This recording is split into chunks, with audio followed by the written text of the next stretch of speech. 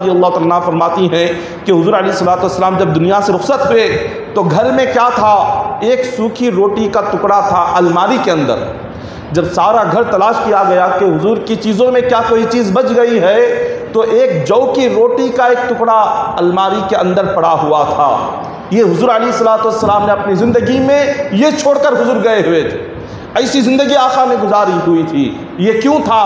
हजूर सलाम ने इसलिए ज़िंदगी गुजारी ताकि उम्मत को ये बात पता चल जाए कि असल जो ज़िंदगी है तुम्हारे लिए असल ज़िंदगी दुनिया नहीं है। तुम्हारे लिए असल ज़िंदगी ये ज़िंदगी जिसमें तुम जी रहे हो ये नहीं है। तुम्हारी असल ज़िंदगी मौत के बाद से शुरू होती है। हजूर सलाम ये बताना चाहते थे इसीलिए आपने अपनी ज़िंदगी में आका सलाम का जब जूता टूट जाता हुजूर अपने हाथों से अपने मुबारक नालेन को सी लिया करते थे। अपने हाथों से उम्मत के नबी हैं और ताजदार अम्बिया है। तमाम अम्बिया में रब ने जिनको सबसे आला मुकाम अता फरमाया। सारी कायनात में आप जैसा रब ने किसी को पैदा नहीं किया, उस नबी की ज़िंदगी को देखिए, जूता टूटता है, हुजूर अपने हाथों से उसको सी कर पहनते हैं। कहीं कभी आका सलाम का मुबारक जुबा कहीं फट जाता, हुजूर अपने हाथों से उसको पेवन लगाया करते थे। इस तरह से ज़िंदगी गुजारी।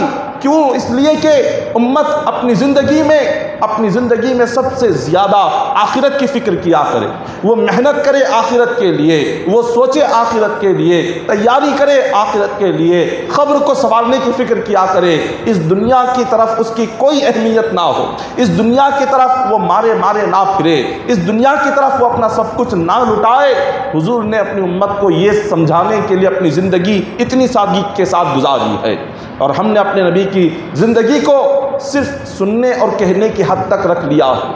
आका सलाम की मुबारक ज़िंदगी हम अमल करने के लिए नहीं लाते। कहने में और सुनने की हद तक उसको रखते हैं, मगर जब तक अमल के लिए उस ज़िंदगी को नहीं अपनाएँगे, उस वक्त तक कामयाबी नहीं मिल सकेगी।